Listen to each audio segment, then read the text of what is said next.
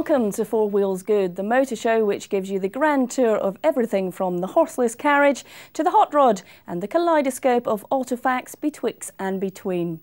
In today's show, Steve Vokins will be taking it easy in his Living With series with the Hot Sports Jaguar, the XJ8. Ian Royle will be test driving the most futuristic refuse lorry ever to roll off the production line. And John Wright will be getting right down to business with the spanners in Inside Motors. Now, have you ever wondered what sort of safety checks go into the development of a tyre before it ends up being the only thing between you and a patch of ice as you glide helplessly towards a tree? Well, scientists at Goodyear are determined that you shouldn't be helpless. Before any new tyre is brought onto the market, it's extensively tested in all conditions.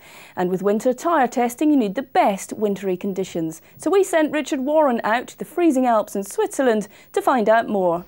Well, it's white snow, it's ice, it's cold. No, we're not in Milton Keynes. We're in St. Moritz in the middle of Switzerland. And we're here to drive some cars with very special tyres on.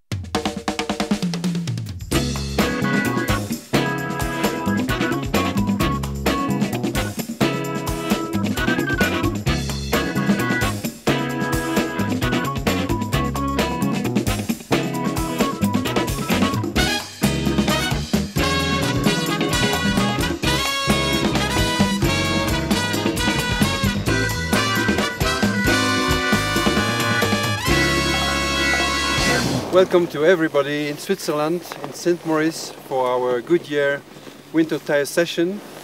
I'm enjoyed to see you this morning. The hill climbing think, section uh, we, we, have made in the Albula uh, Pass in Switzerland is mainly to assess the potential of a tire for the traction and also in the different corners we have uh, on this uh, track on, on this pass uh, to assess the cornering force and uh, the stability in cornering on snow. It's just a snow traction test, mainly in the straight parts of the Albula Pass, but also we assess subjectively uh, the, the, uh, the cornering behavior and the handling behavior in cornering. And with professional drivers going at high speed, the tyres really do go through a rigorous test. Quite a hair-raising ride as well, with the added danger of all those sheer drops just feet away.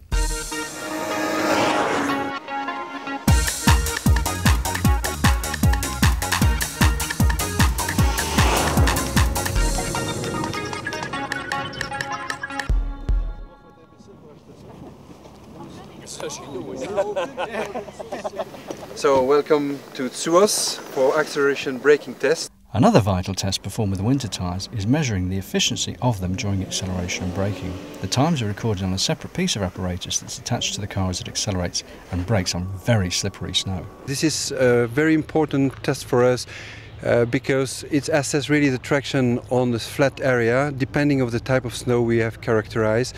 It's not uh, in uh, slope, it's just uh, flat and uh, we can test there in different conditions.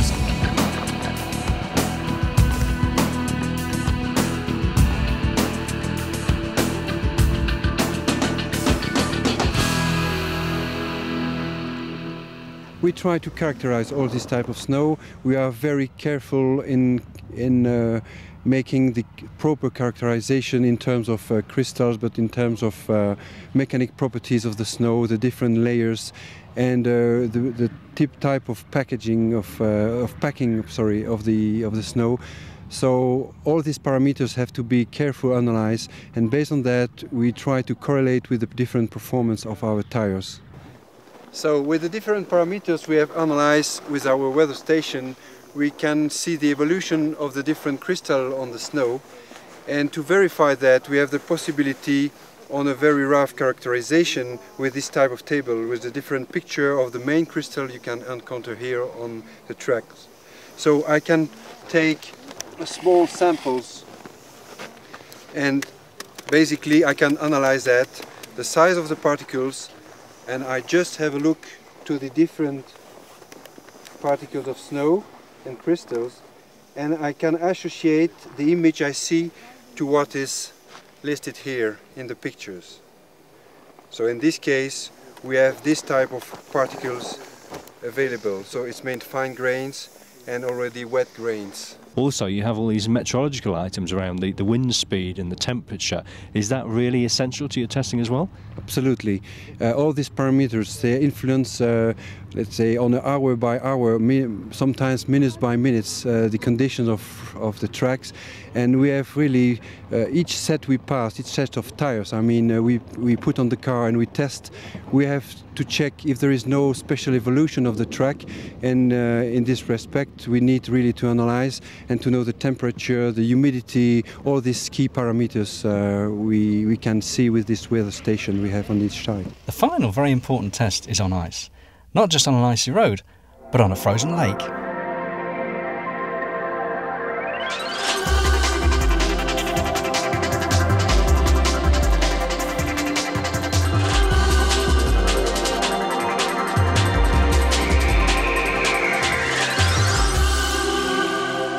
Here we have wind, we have the different type of uh, level of humidity, and all these uh, characteristics are changing during our test. And this is really real life. I mean, this is where the tires will have to uh, to make the performance uh, when the, the customer will uh, buy it.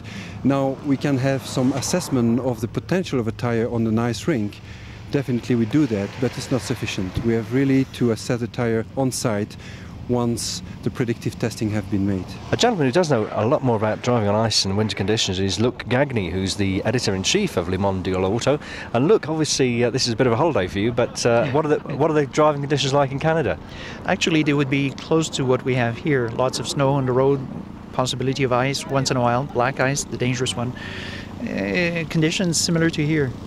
Well, obviously we've been driving a variety of cars today. So would you say that the new tyre that Goodyear got, the winter tyre, is it actually an improvement over a standard uh, sort of tyre or not?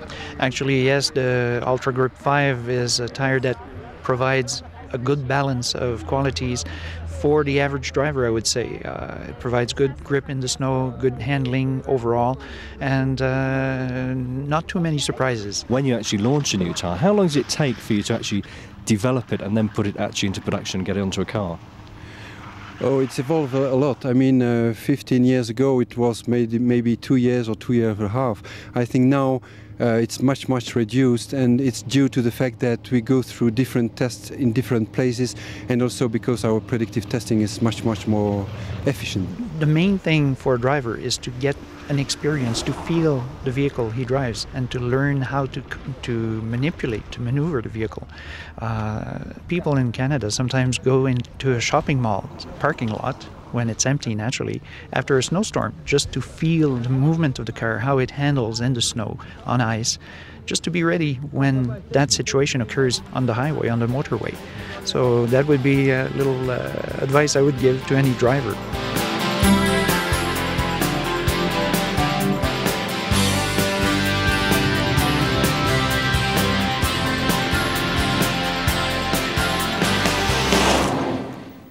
really does look like great fun, but I think I'll steer clear of that frozen lake. I thought I had the ice cracking. Now, if one of your favourite childhood fantasies was to drive the huge dust carts that came down your street once a week collecting the contents of your bin, then look no further. You may just develop pangs of that longing once again. Seddon Atkinson have just unleashed the most advanced dust cart ever, and Ian Royle went to live a boyhood dream. As a young boy, cars and trucks were always a great fascination for me. I used to say when I grew up I wanted to be a bus driver, a lorry driver, drive a racing car, some glamorous and some not so glamorous occupations. But there was always one thing that I wanted to do, drive a dustbin lorry, or should we say a refuse vehicle. Well, today I get to realise my ambition. But this is no ordinary dustbin lorry, it's a revolutionary new vehicle from Seddon Atkinson, and it's this, the Leader. Now what do the Leader and the McLaren F1 road car have in common? Surely nothing you might think. Well, there's one important design but both of these vehicles share and it's this, the central steering column and the seats behind. The McLaren F1 road car might do 0 to 60 in about 3 seconds. The Leader might take a little longer I think. But the Leader certainly beats the McLaren hands down when it comes to street cleaning performance.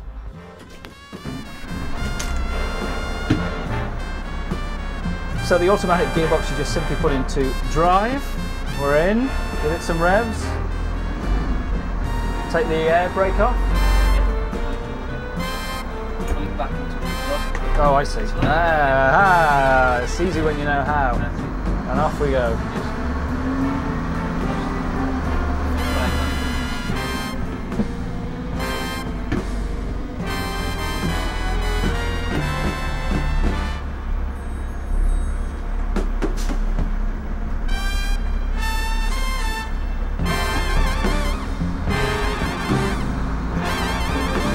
Boy can see me driving this now, you will be so, so jealous.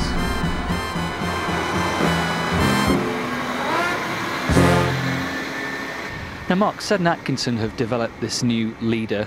Uh, tell us why it's revolutionary. It's been described as revolutionary, uh, and why you've developed it. Well, as you probably know, Ian, Seddon Atkinson are a very major player in the UK municipal vehicle market, and with its centre steering position low and low access cab, the leader is particularly suitable for any environment where repeated stops and starts are necessary, and where both the driver and the crew may have to repetitively get out of and back into the cab. Um, as you can see, the low steering position and low access points make the leader uniquely suitable. What sort of features are standard on the leader for the for the driver and the crew? Well, in addition to an easy clean cab which is tailored to the municipal environment, Ian, um, the uh, cab includes one or two of life's creature comforts. It's well upholstered, as you can see, and in addition to that, uh, we've included uh, closed circuit television to assist driver reversing and a, a radio cassette configuration to keep him entertained. Mark, let's take a look around the leader and see what some of the main features are, can we? Certainly, come on.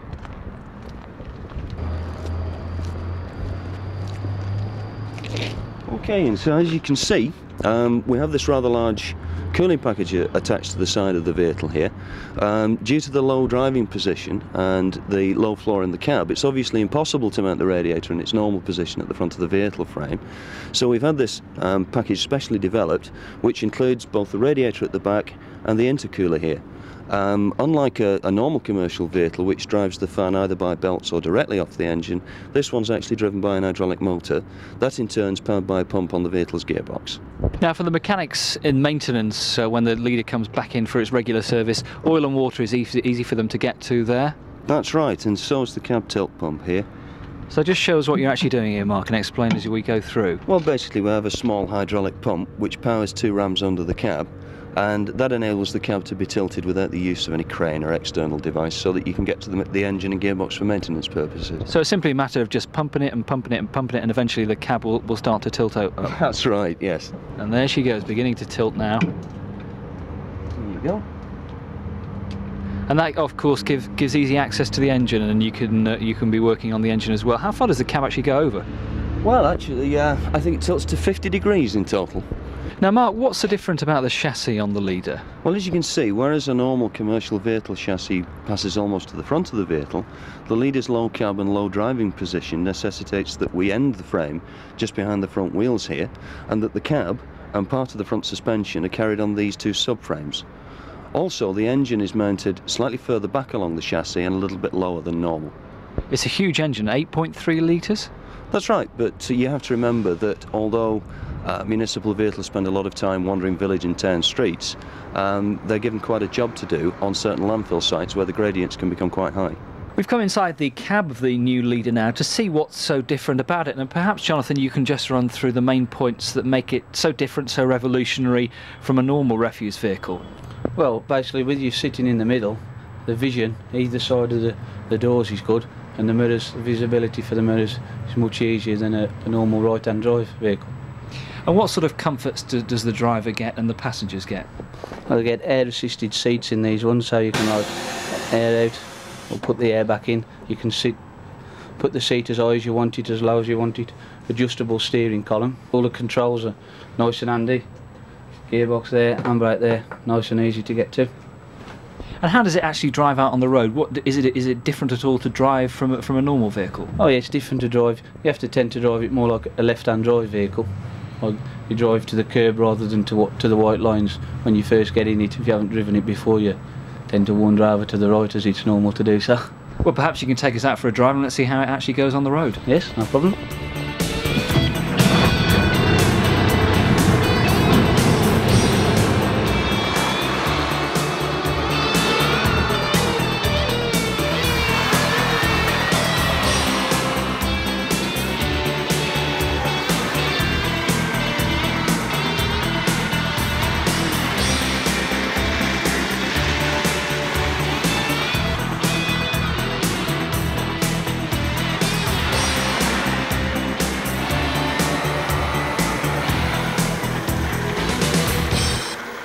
Well, I think I'll stick with the McLaren F1. That's it for part one, but join us again after the break to see how Steve Vokins has been getting on living with another car, the Jaguar XJ8.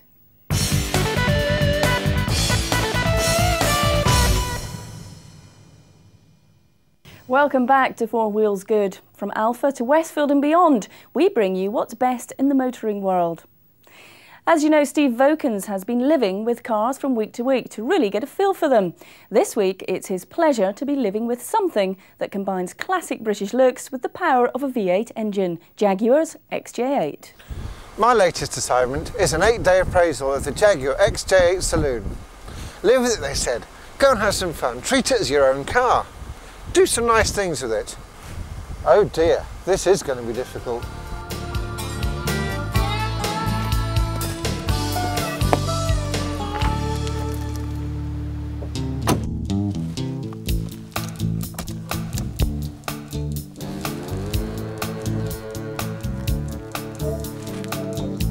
That's nice.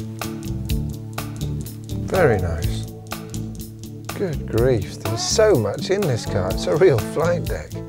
Lovely wooden leather. I'm going to enjoy getting to grips with this car, I can see.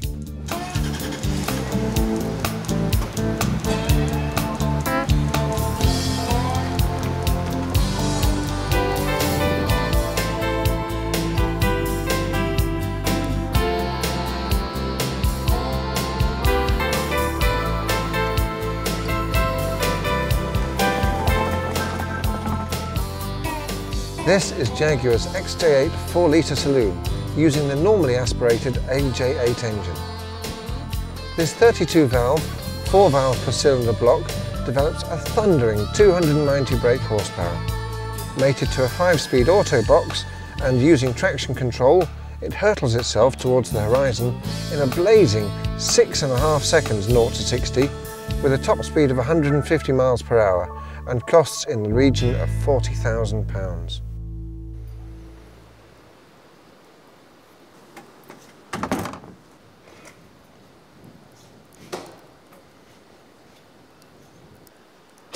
I've been enjoying this car for four days now, and enjoying is definitely the right word.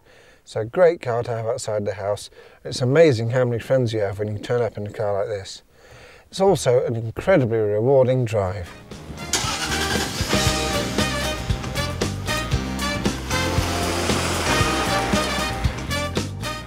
On the downside, my only two complaints are about the wisdom of choosing those wheels, which look out of place in a car of this quality, and also the turning circle, which could be tighter. I found my three point turns turning into five or even seven point nightmares.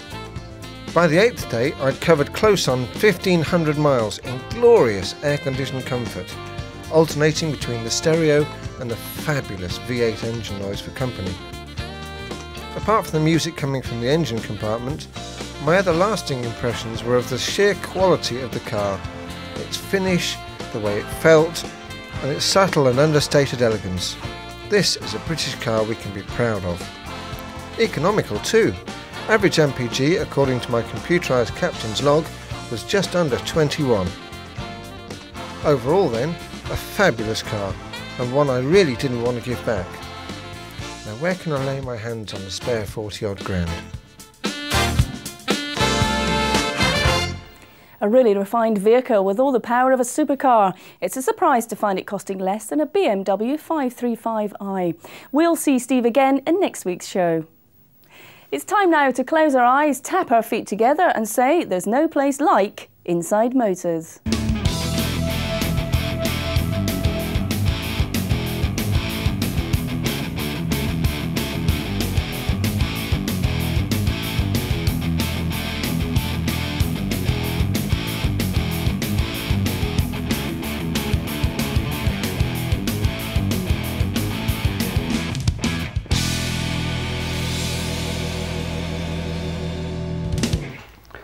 Take that off. Right, now we'll take out the push rods and you always give them a wiggle before they come out. Now, you can tell this is a bit of an old engine. I'll just bring them in front of the camera here because the push rods have got a bit rusty. Now that's probably because this engine hasn't run for at least 10 years, if not a bit longer. But we'll soon cure that, that's not going to be a huge problem to us. Right, now we're going to take these bolts off here and then we'll be able to lift the head clear. Right, now we'll lift the head off. Just get my Birmingham screwdriver again. Quick tap there. Quick tap there. And it should come clear. That's it. Right. Yeah. Back down there. Move it off my hand. Turn it round so you can have, so you can have a look. Yeah, that is going to clean up superbly well. Quite pleased with that. Now we'll get rid of the old gasket and we'll start stripping the bottom end of the engine down. And I think before we start doing that, I might just see if there's any oil in the sump. We'll get rid of that first. Right, viewers, regular viewers to the show know that we use this big 30 litre barrel to drain oil into. And then once a week, I take it to the tip and dispose of the oil properly. Let's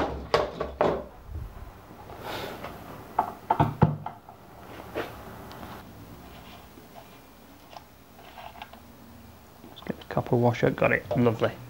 Right, there's a little bit of oil in there, it doesn't look too bad actually. Yeah, I don't like that, I don't know what it is, but I don't particularly like that in the sump. Anyway, when we strip the engine down we'll find out exactly what that is.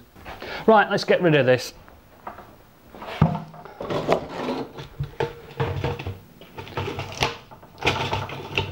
Top back on. get rid of that later and we can get back to what we really came for which is getting rid of all this. I think before I start taking the sump off I just get rid of these two cover plates and they breathe the breather system. Thanks there to our performer of mechanical marvels, John Wright. I'm afraid that once again it's time to say hasta la vista, but join us next week when Ian Royle drives an amazing supercar from Nissan, Richard Warren finds out what goes on at ProDrive, the force behind the Subaru Rally and Honda touring car teams. Steve Vokins will be driving the Peugeot 406 Coupe, and John Wright will be getting handy again in Inside Motors. See you then.